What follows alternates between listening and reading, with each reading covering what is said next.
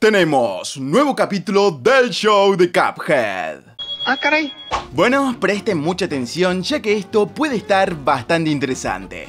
Hoy se ha estado hablando de un supuesto episodio perdido de la serie de Cuphead, el cual al parecer está esperando a ser renovado, por lo que probablemente no lo veamos hasta en otra próxima temporada. Este comienza de esta manera. Hartos de las tareas del hogar, Cuphead y Mockman se disponen a vivir como vagabundos, hasta que se subieron al tren equivocado, por lo que deberán escapar antes de la medianoche o quedarán a bordo para siempre.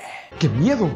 Sí, es así como sería llamado este capítulo, Todos a bordo, y el tren fantasma sería el protagonista principal de este. ¿Por qué no fue publicado? Bueno, la realidad es que esto no se sabe, pero yo pienso que han retrasado este capítulo con la idea de cambiar un poco la historia, ya que lo de la medianoche coincide bastante con otro capítulo de la mansión embrujada, aunque como digo, es solo una opinión personal. Pero bueno, sigan mirando que aún hay más. Lo que parecía un vagón común y corriente se terminó convirtiendo en algo más siniestro, contado por un vagabundo. Cada vagón tiene uno. Seguramente estos vagabundos sean las criaturas que aparecen en la batalla del juego. ¿Y vos, qué opinas de este? ¿Te gustaría ver un capítulo con esta gran historia? Los estaré leyendo como siempre. Mientras tanto, por acá te dejo otro video de Cuphead que no te podés perder. Chao, chao.